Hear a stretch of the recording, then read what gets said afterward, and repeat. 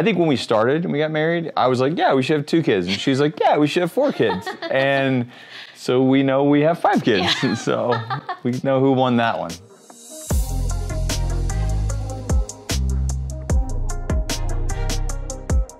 Yeah, I think a lot of times we get a lot of couples go, hey, we've got a big decision on the horizon. No matter how long you're going to be married, you're going to face real big decisions. Should we change jobs? Should yeah. we move? Like, what school should our kids go to? And the process of trying to flush that out, I wouldn't say is like a, well, if you do these three steps yeah. and it's all real, because there's emotions in it, there's friends in it, there's, you know, like, there's a lot of factors that play into each one.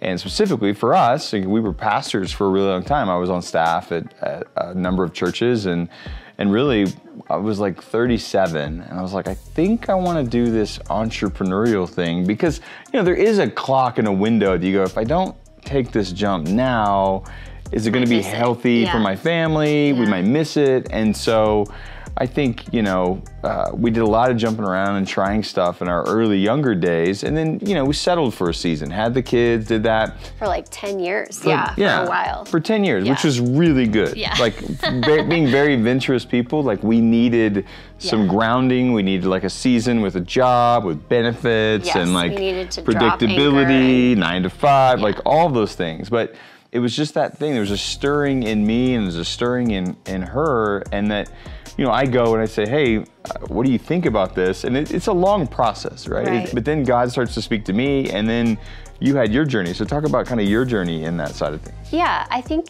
the stint that we had, the 10 year planting, dropping anchor in the same place was so good for us, and we needed that. But the last couple years that we were there, we both started to sense just an invitation from the Lord to do something new. We knew the winds of change were blowing, and it was our choice to either say yes and go on another adventure, or we could say no and stay right where we were. And it was, I mean, when I say it was years that I resisted, years of praying and seeking. This was not like a, yeah, I think we'll do that. It was right. a long time of resisting and then praying and really trying to wrap our heads around what this would look like for our family and asking for confirmation. I think that's really important. Just really making sure this is something that the Lord is inviting you into and not just a restlessness. And God really made it clear. Um, and we had several things we asked Him, like, Lord, if this is you, just make this line up, make open the way for this to happen. And He did, and made it really clear that it was time for a big change and that this was Him. And so we said yes, and we jumped again. And it wasn't easy. It, it's still, it, you know, there are highs and lows on any adventure. There are highs and lows. Um, but I think what is so incredible is that it's brought us closer together for sure. Yeah, I, I think I think what's nice on a jump like this is there's a there's a huge faith element, yeah. right? And there's also calculated risk element. Mm-hmm. There's risk, you don't want to take that, you want to take a calculated risk. So some things you say, God, bring clarity yeah. and show us what is it that you want to do.